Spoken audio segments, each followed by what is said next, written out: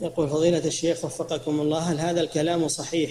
وهو أن المحبة الطبيعية كمحبة الوالدين والخوف الطبيعي والخوف الطبيعي والكراهية الطبيعية ككراهة الضرة في الزوجات. كراهة؟ كراهة الضرة في الزوجات. أي كل هذه طبيعية ما ما تضر. نعم.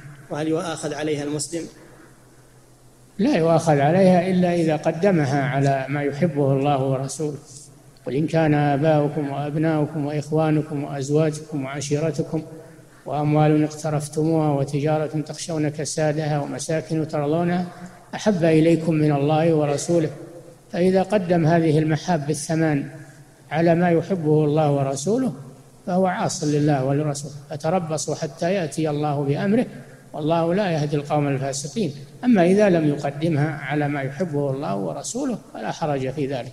تحب وطنك تحب بيتك تحب آه، المال تحب أقاربك؟ نعم. تحب زوجك؟ نعم.